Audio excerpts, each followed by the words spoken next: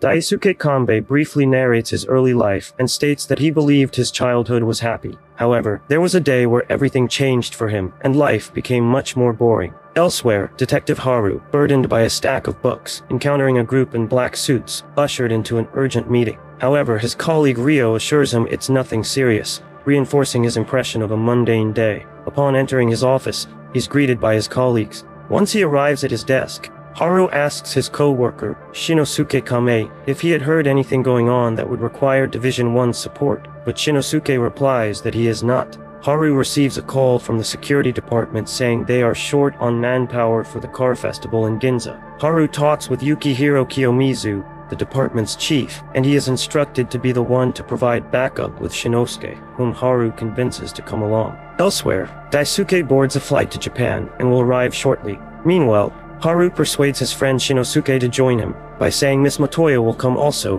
which he complies immediately. Haru and Shinosuke leave their office to help out at the festival. On the way there, Shinosuke comments on the former's previous position as a member of Division 1, which results in Haru aggressively stopping the car. At a traffic light, they see a fancy car and bitterly comment on it, passing by Daisuke, who was driving the extravagant car. The pair arrive at the festival and notice the large crowd. Shinosuke points out that the crowd is likely due to the arrival of Aruba Emirates Prince. Meanwhile, Yoko and Hiroshi, two bumbling thieves, scout jewelry stores for a potential heist, with ideal target. Arriving at the show, Haru and Shinosuke ask for the case, but then denies their authority as they are don't belong to the First Division, which means it has nothing to do with them. Haru, with his thick-skulled personality, suddenly grabs the radio and discover the 1st Division is searching for a bomber targeting a visiting foreign prince. Yoko and Hiroshi, on the other hand, looking out for a shop with a young, easily overpowered guard. Unfortunately, every guard they encounter is either surprisingly strong or highly experienced. On the verge of giving up, they spot a seemingly unguarded store and attempt their robbery. On the other hand, Haru was angered at the fact the event wasn't being cancelled, even though they had learned of the crime beforehand. Haru questions Ryo and his partner. They reveal that they had tried to cancel it, but their suggestion was denied as the prince's presence was of too much importance. Haru tries to argue this fact, but Ryo turns him down and clarifies that the police have to work well with the government. Elsewhere, at the police superintendent's office, Daisuke talks with the general. He requests to be placed in the detective division even after the superintendent tells him he could arrange for him to be in the first or second investigation division. They both take a smoking break, and the superintendent picks up a call. He is happy to hear the bomber suspect has been detained and asks about the location of the bomb. The store Yoko and Hiroshi rob turns out to be a sweet shop, much to their dismay. Rio receives another call, and Haru and Shinosuke listen. They are notified that the bomb is still located in a white van across the street. A logo was present used by a cleaning company, Fukunishi Cleaning, which they used as a basis. They begin to look for it. Coincidentally, it was the vehicle used by the robbers for their escape. The thieves flee after their robbery unknowingly, using the bomber's van as their getaway car. During the chase, a reckless man named Daisuke wreaks havoc on public facilities and vehicles. Haru intervenes, but it's Daisuke who introduces himself as a detective from the Metropolitan Police Department's Detective Division. Fearing they can't outrun the police, Hiroshi suggests surrendering. Daisuke, with the help of his AI assistant Husk, promptly pays double the repair costs, and even throws a billion yen at the prince who mocked his appearance, buying his car in the process. The wealthy detective, alongside Haru and his newly acquired car, pursues the thieves. Daisuke expertly blocks roads and routes, minimizing traffic congestion as there wasn't time for evacuation. He pushed the white van to the edge of the bridge, intending to drop it into the river to absorb the impact of the bomb explosion. Hiroshi was very scared, then got out of the car, leaving his girlfriend Yoko, who could only cry in frustration because the bomb would explode. Haru rushed over to the white van to help Yoko. In the end, the white van fell into the river, and the bomb explosion was suppressed so as not to cause panic. Haru unfortunately loses his footing and falls in himself. Daisuke finds amusement in this outcome. Annoyed by having to mentor Daisuke, Haru complains to his boss, Inspector Yuko. A visibly upset Haru Kato tells his boss, Yukihiro Kiyomizu, that he cannot be a suitable mentor for Daisuke Kanbei. Yukihiro listens to his concerns and tells him not to worry about it then, as Daisuke should be able to take care of himself anyways as an adult. On cue, Daisuke enters the office, and Yukihiro guides him to his seat. As Mahoro Saiki offers the newcomer some candy, Shinosuke Kame yells over something on his computer, and, exasperated at the noise, Haru tells him to be quiet. Shinosuke exclaims that the model Akiko Hoshida had passed away from a drug overdose, which greatly shocks Haru as he shouts and forces his way past Shinosuke to glance at the screen. Shinosuke dejectedly comments on how Akiko was Haru's favorite model, but Haru ignores him and asks why they were receiving news through the media and not through the case. Shinosuke informs him that their department doesn't receive this type of information. Mahoro sadly watches them as Daisuke chews the candy. Haru then tells his chief that he would be making his way over to the stop shoplifting campaign and wistfully exits the room into the hallway. His thoughts are interrupted, however, by Daisuke following him. Annoyed, Haru asks him why he was accompanying him and that he would be alright by himself, but Daisuke insists on coming along. The pair arrive at Shinjuku and walk past its station where they see two entertainers perform. Haru stops to watch them and notes how desperate they are. Daisuke immediately drops a 10k yen bill into their donation hat, and they excitedly claim it and leave to drink. Haru tells Daisuke off and tries to inform him that the performers weren't acting for money. Rather, they were doing it to improve their own skills, and by giving them money, they lose their motivation to work. Daisuke ignores him and sniffs, pointing out the presence of mescaline much to the performer's dismay. Under interrogation by Daisuke and Chosuke, it's revealed they obtained the drug from a model named Isizaki. Haru and Daisuke, along with Haru's reporter friend Akira Mida, launch an investigation into Isizaki. They observe him and a black-haired girl exchanging drugs for money. Deciding to gather more evidence before making an arrest, they tail him for several days. Jessica is absent in Stegyo. Haru reveals his findings to Akira connecting Isazaki's drug operation to the criminal syndicate Gandawara. The black-haired girl works as a messenger.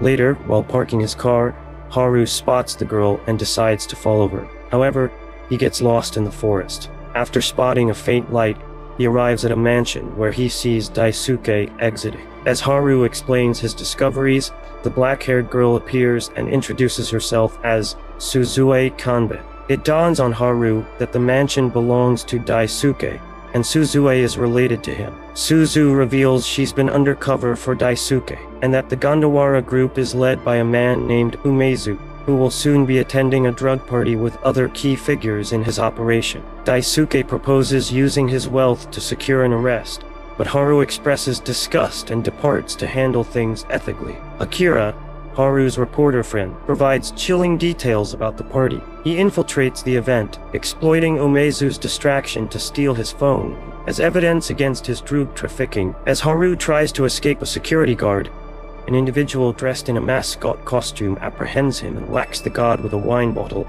and flees to the roof with the phone. Harvey, along with a furious mob, chases after him, but Haru reaches the roof in time and locks it.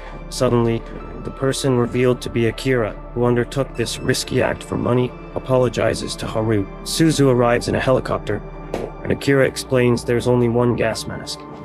Daisuke then purchases the building and unleashes poison gas onto the roof, incapacitating Haru and everyone else who managed to get there. The criminals are apprehended thanks to the evidence retrieved from the cell phone. Haru, enraged by Daisuke's methods, confronts him. Daisuke deflects the blame, reminding Haru of his expulsion from the First Division for injuring a civilian due to a misfired weapon. He reveals Haru hasn't been able to fire a gun since. Fuming, Haru storms off. Yukihiro requests Haru's presence at a meeting in Hong Kong, offering Daisuke's private jet for the trip. At Kikuko Kambe's residence, Haru Kato sits next to Daisuke and Suzue. Kambe, as Kikuko introduces herself as Daisuke's grandmother. Haru exchanges greetings with her, and Kikuko thanks him for taking care of her grandson. Suzue presents Kikuko with a gift from Hong Kong, and they all prepare to eat it as Kikuko questions Daisuke's happenings at work and Haru's experiences working alongside him. When Haru mentions his partner's reckless financial usage, Daisuke is visibly irritated and receives a scolding from Kikuko. After learning that Haru is older than Daisuke, Kikuko requests him to be a good senior to him and educate him well, much to Daisuke's annoyance, and a smug Haru agrees to do so. Jiro Hattori passes by and Kikuko introduces him as the family's butler. Haru asks if he is the butler Daisuke uses to gather intel and make purchases, but Suzue explains Daisuke's butler is a separate entity, an AI named Yusuke, While Daisuke drives back, Haru mentions that he had a business trip planned and taunts Daisuke by reminding him to make sure not to trouble their co-workers. His remark prompts Daisuke to immediately accelerate the car, startling Haru.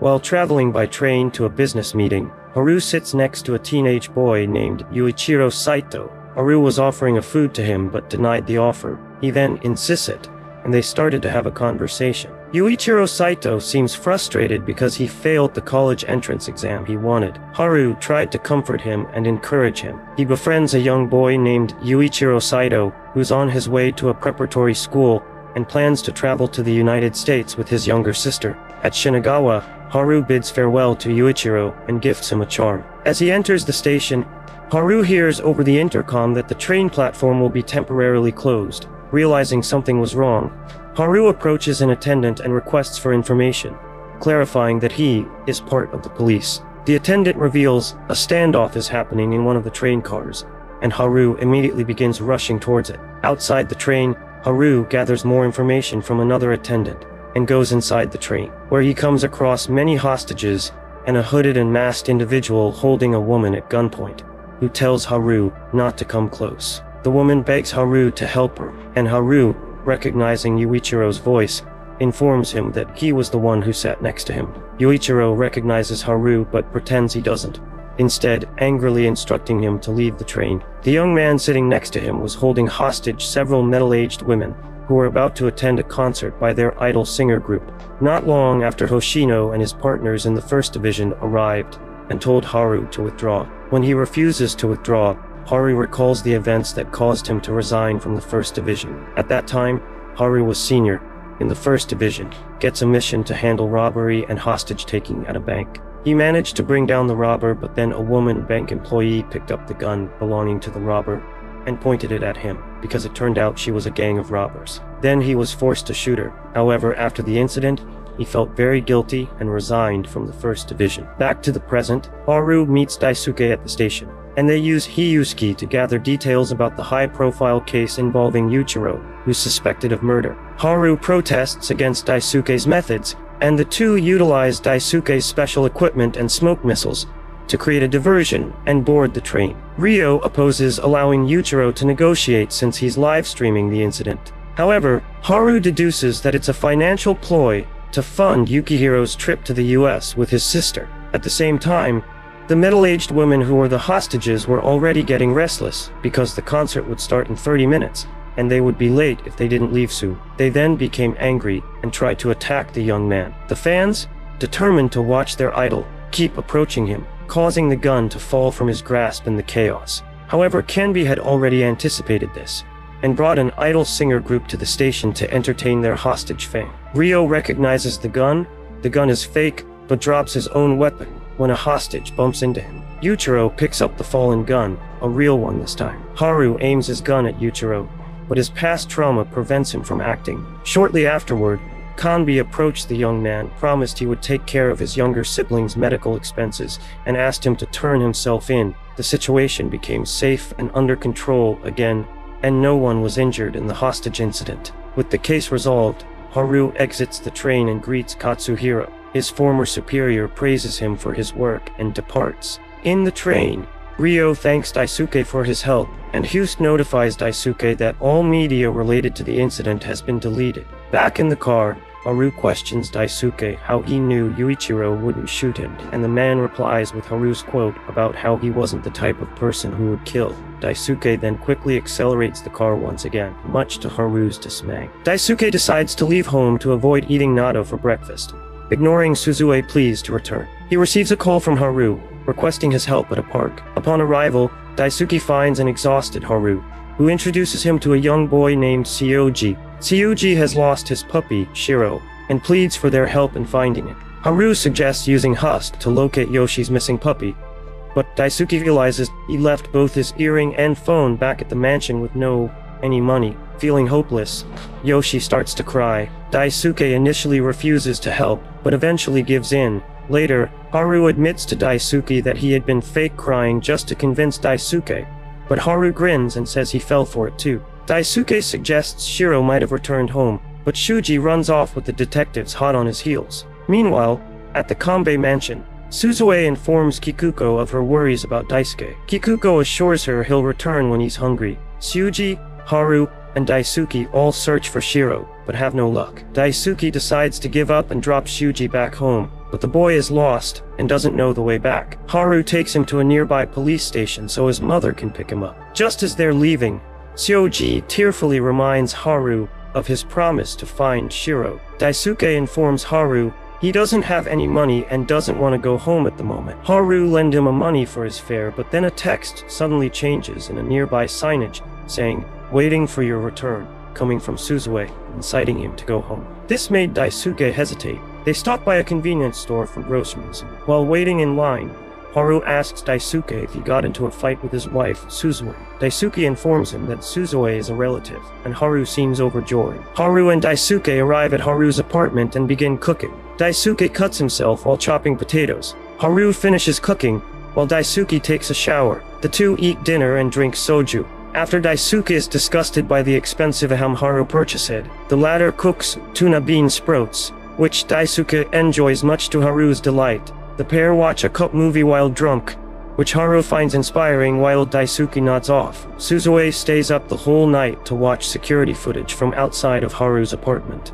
Suzue can't sleep because of her worries of what might happen to Daisuke. Haru wakes up hungover and notices that Daisuke must have left, only to find him sleeping in the bathtub moments later. Daisuke leaves, and Haru spends the day searching for Shiro with Tsuyoshi. That evening, Daisuke appears with Shiro Tsuyoshi is overjoyed to see his dog again, while Daisuke informs Haru that the dog isn't actually Shiro, but a sibling of Shiro from the same breeder. Haru angrily tells Daisuke that money can't buy everything. Daisuke explains that the real Shiro was hit by a car, and hands a somewhat placated Haru the bill for the dog. Daisuke returns home with a few ingredients. Suzue was overjoyed at his arrival and paused for a bet seeing the cut on Daisuke, and randomly ask if they are hungry. He then starts to prepare the Kato family's devil's natto rice for Suzue, to the astonishment of Kikuko and Hattori. President Alvarez of Poliador arrived in Japan to secure loans and sign contracts related for the construction of a giant dam.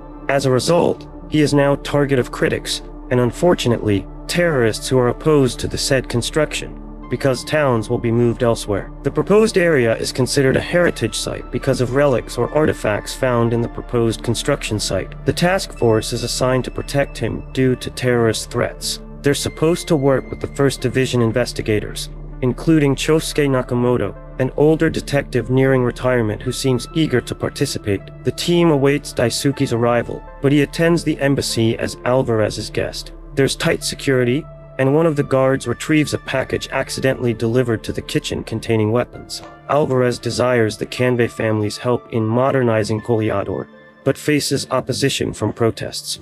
However, Daisuke informs him he won't succeed as the head of his family. An infiltrator who retrieved the package kills the embassy chef to conceal his identity. Haru and the rest of the task force befriend an elderly janitor working outside. One of the investigators warns Daisuke and Alvarez about a threat, and they're sent to a safe room after discovering the chef's body. Daisuke uses Housey to hack security cameras and monitor the situation. Haru, determined to help, decides to check if the cameras have been tampered with. Suddenly, they see a man fleeing the building, and Haru chases after the murderer. Husk retrieves security footage, and Daisuke discovers a clip showing the murderer planning to use a tear gas canister designed by a Kanbei Group company filled with VX gas.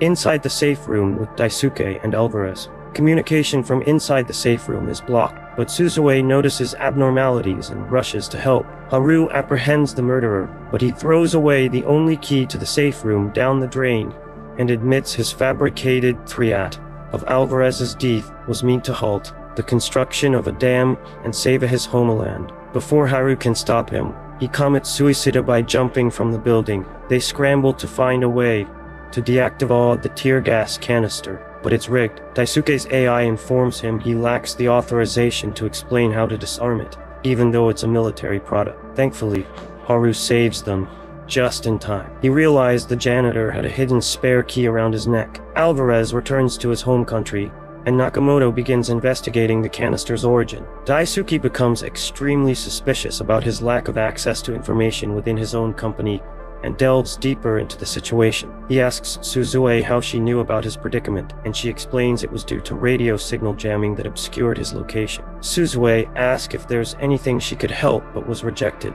Moving on, Haru and his subordinates was on their way to a hall where trial will occur. It was about their performance during the mission. The trial doesn't go their way and was criticized because of the commotion during the mission, and even led to the death of the important suspect. All of his subordinate put blame all to him, stating that all they did was follow Haru's order. Because of this, Haru is removed from the case as he allowed the suspect to die, even though his actions saved the president's life. Nakamoto learns about the canister and discovers a company called Mizuo Futures Technologies might be the manufacturer. He tells Haru his suspicions about a cover-up by higher authorities, who are trying to hide evidence like the jamming device. He also reveals he investigated Mizuo Futures Technologies before. They confront Imura, a Mizu executive, about the jamming device, but she refuses to answer and forces them to leave by recording their interrogation. Daisuke hacks Imura's electric car using Hia ski, causing her to speed. He stages a fake accident and accuses her of reckless driving to arrest her.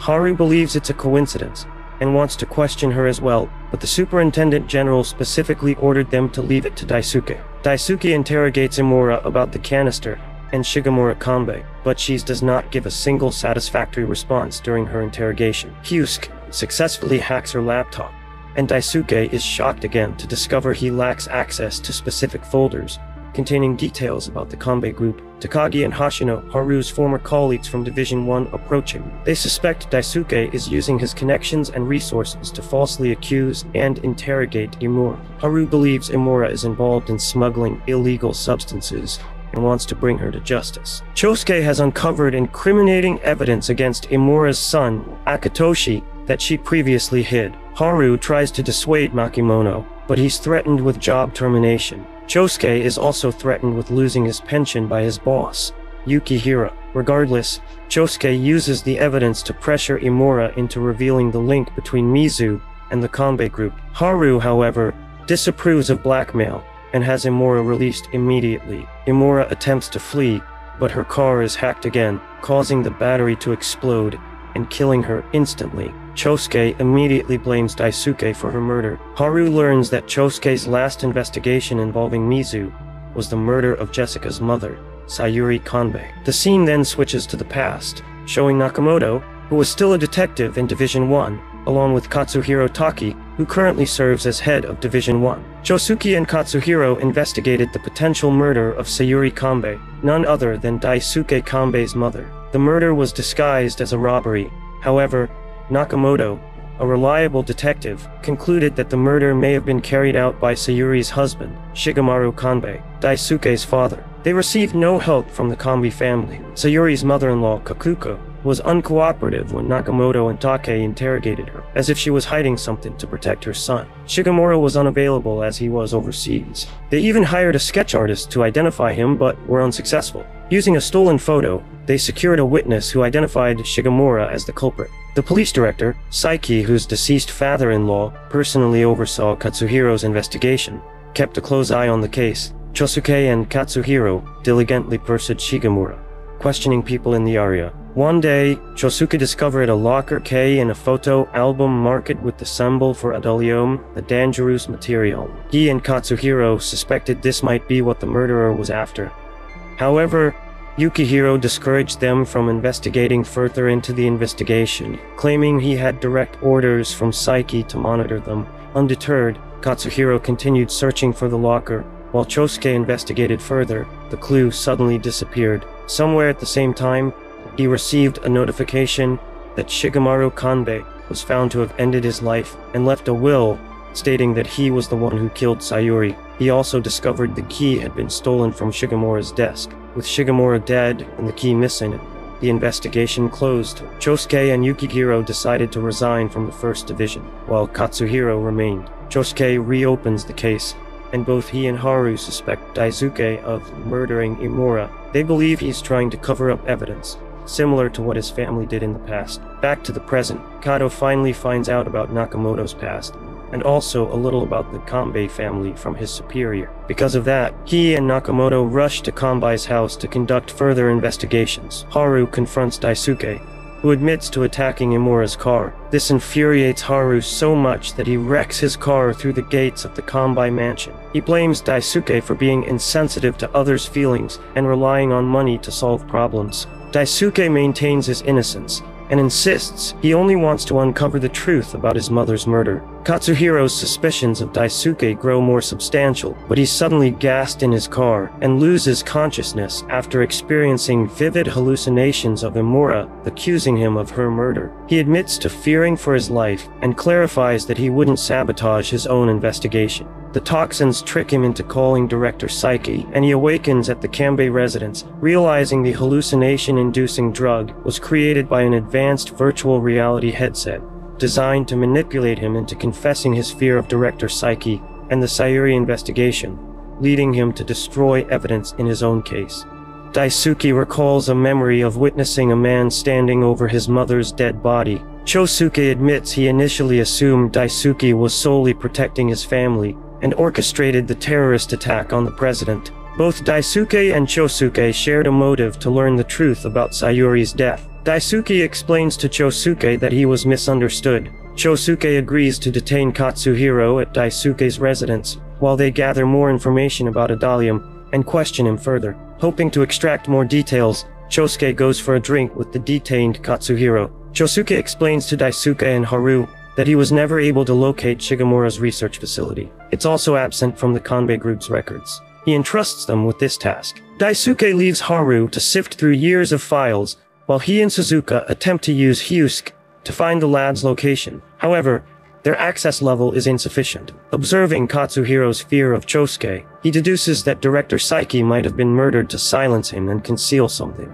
Since then, Katsuhiro has also feared for his life. Chosuke suspects Katsuhiro possesses additional information about the mysterious locker. Frustrated after reviewing countless files without success, Haru suspects Hyusuke is hindering their progress. Suzuka realizes Hyusuke has been systematically deleting important data and information from their company servers. Daisuke attempts to question his grandmother, but she refuses to cooperate and advises him to move on. Suzuka informs Daisuke of her suspicions about Hyusuke, fearing it monitors their conversations beyond audio, potentially even lip reading. Through careful analysis and decoding of a family photo, Haru finally discovers the location of the third lab. It's situated in one of Daisuke's family mansions in the mountain. Daisuke decides to infiltrate it alone. Suddenly, an intruder enters the mansion and tries to reach Katsuhiro, confirming their suspicions. However, the intruder bypasses all security measures using passwords belonging to Shigemura. Suzue attempts to assist,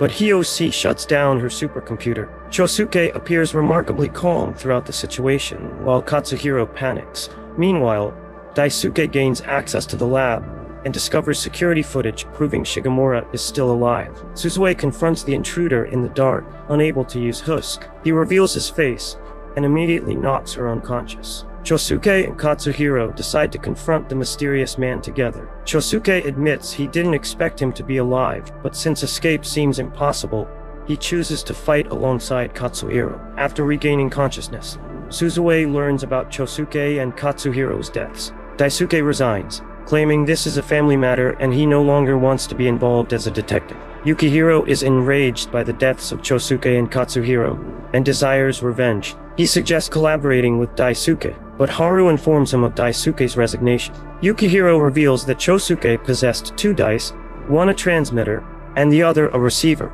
He successfully planted the transmitter on Shigemura. Hashino and other First Division investigators arrive and arrest Haru, labeling him the prime witness in the murder case. The modern crimes team manages to evade the First Division officer tailing them. Suzuka claims she saw Shigemura, but all security camera footage has been erased. Vasquez's grandmother admits she knew her son was alive, but stayed silent to protect him. The rest of Haru's team focuses on pinpointing the transmitter signal. While Suzuka tracks down Shigemura's car, she finds it and relays the location to Daisuke. Despite suspecting it might be a trap, Haru informs Hashino that Shigemura is alive, but Hashino scoffs at the idea of a deceased mastermind. He accuses Haru of murdering Katsuhiro, harboring resentment for the accident that rendered him unable to fire a gun. This event continues to traumatize Haru. Meanwhile, Daisuke reaches Shigemura's car, finds a letter in the back seat, and enters the vehicle. Hashino discovers Katsuhiro's resignation letter, prompting him to reconsider Haru's claims. Daisuke triggers a nerve gas trap in Shigemura's car, revealing someone intended to kidnap him.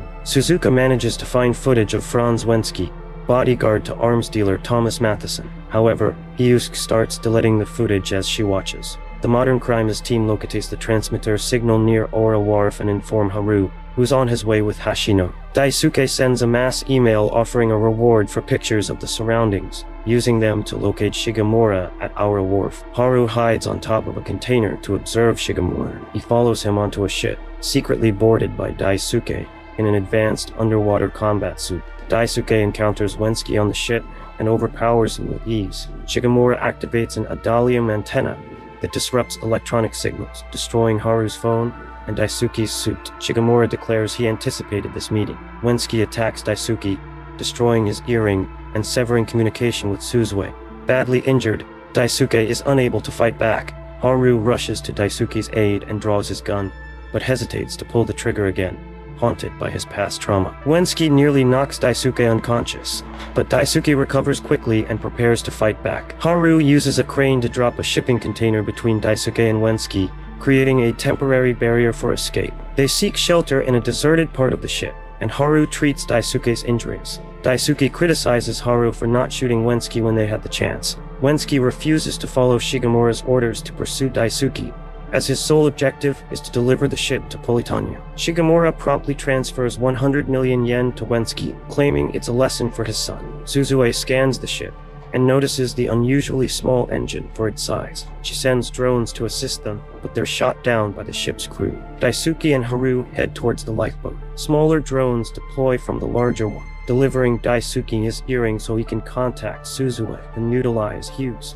Suzue warns them about a planned ambush and explains that Adalium is powering the ship with zero emission. Daisuke follows Suzue's instructions and heads towards the engine room, while Haru confronts their enemies alone. He cleverly deceives Wensky into believing he fell overboard after being shot. Reaching the engine room, Suzue theorizes that Adalium is a substance that uses seawater to generate energy, potentially providing the world with limitless clean energy, or serving as a weapon of mass destruction. Daisuke starts dismantling the engine, but Wensky tackles him. Outmatched, Daisuke learns Wensky was paid by his father for a lesson. Haru arrives and aims his gun at Wensky, but hesitates again.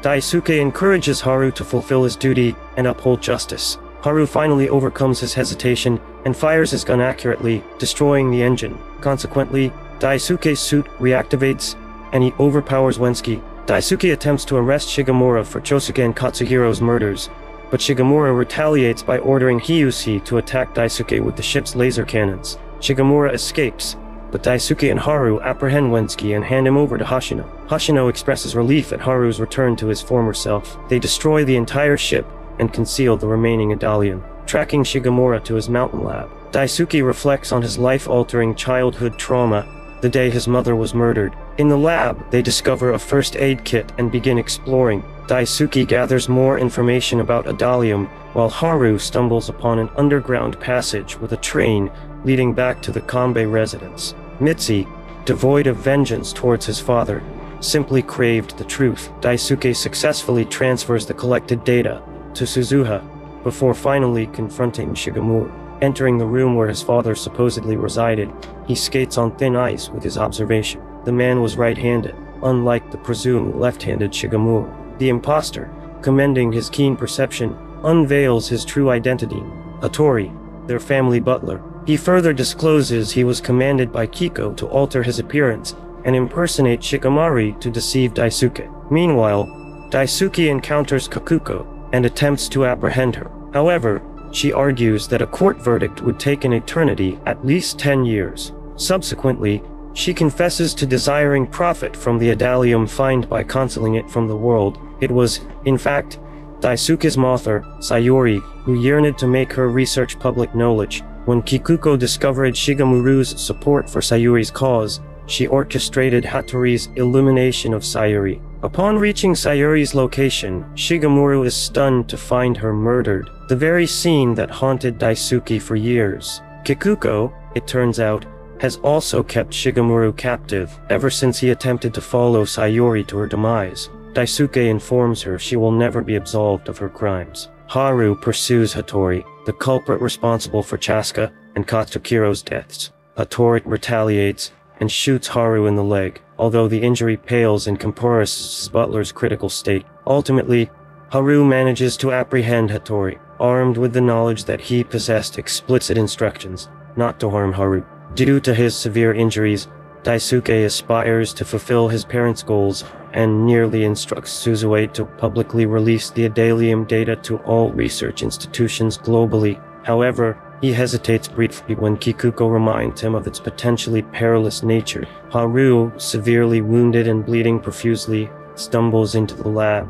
Accidentally, his hand makes contact with the supercomputer's button, releasing the entire data set worldwide. This outcome entertains Daisuke, who promptly arrests Kikuko despite her demands for data retrieval. Two weeks later, Haru is offered a position within the First Division once more. He declines, however, favoring the Modern Crimes team, which becomes significantly more effective with Daisuke's implementation of Husk to assist in their missions. Daisuke assists his father's recovery, while Adalium surges in popularity. It dramatically transforms the world, leading to numerous advancements. However, some individuals begin selling it on the black market. Daisuke and Haru collaborate to prevent the misuse of Adalium's power while thwarting a criminal operation. In a familiar turn of events, Haru once again finds himself falling into the river. Daisuke, much to his amusement, witnesses the scene unfold, mirroring their very first encounter.